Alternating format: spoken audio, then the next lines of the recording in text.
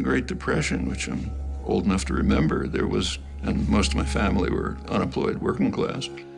It was bad, but there was an expectation that things were going to get better. There isn't today.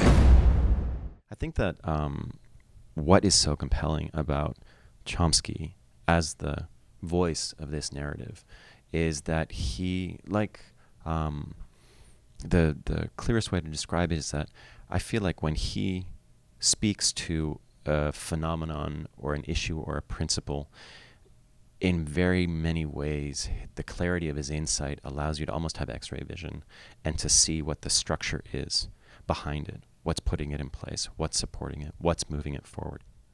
I think that what's great about being in DC specifically is obviously this is the intersect of ideas and implementation.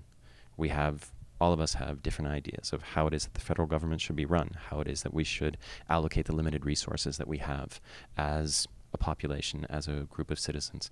And then DC is the mechanism, ideally, for putting those ideas into place. So, just by very nature of being in DC, being in the capital where legislation is debated and passed, it lends a certain relevance to the conversation that you have. And I think that's what's exciting for filmmakers to see that obviously the films that we make are issue driven, can, ha- can have an impact on the conversation around policy to address those issues.